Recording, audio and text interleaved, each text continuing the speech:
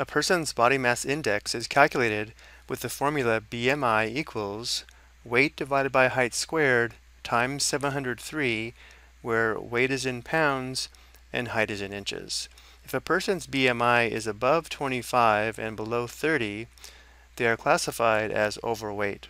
If we solve this equation here for height, notice we have height squared in the denominator, we can determine how tall a person of a given weight should be if they have a BMI of 25. So if we solve this for h and what our function as h of w, our new function would be h of w equals the square root of 703 times w divided by b, where h of w is the person's height in inches, w is the person's weight in pounds, and b is the person's body mass index, which again for our problems will be 25, so we'll actually be using the function h of w given here below. Notice how our function h of w will only have the input of w, which is weight in pounds. Let's answer our two questions on the next slide. Determine how tall a person is if they weigh 250 pounds and they have a BMI of 25. And we're asked to round to one decimal place.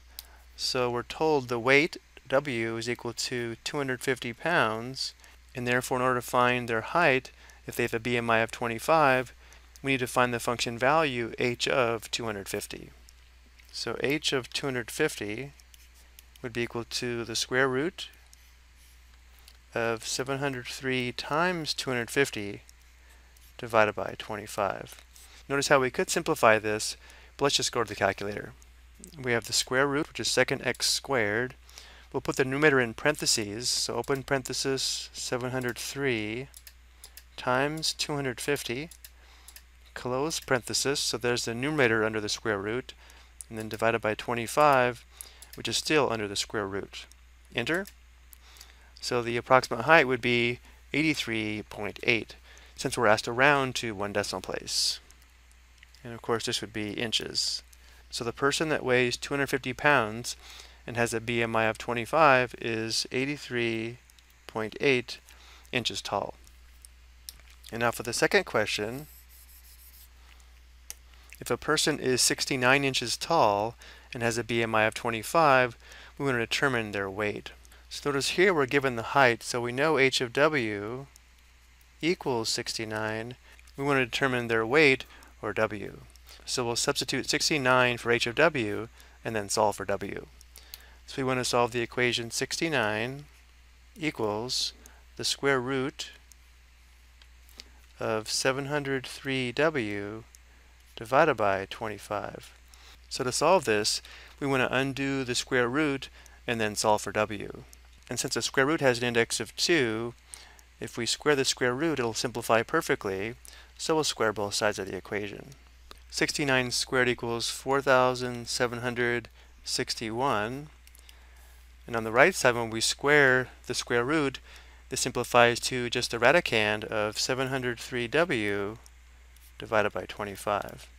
Now here we have a choice. We can clear the fraction by multiplying both sides by 25, or we can multiply both sides by the reciprocal of our fraction here. Let's do this in two steps. Let's multiply both sides by 25 first. 25 times 4,761 equals 125. On the right side, this simplifies to 1, so we have 703w. And for our last step, we divide both sides by 703. 119,025 divided by 703 is approximately 169.3. Of course, the right side simplifies to w, which means a person that is 69 inches tall and has a BMI of 25 will weigh approximately 169.3 pounds. I hope you found this helpful.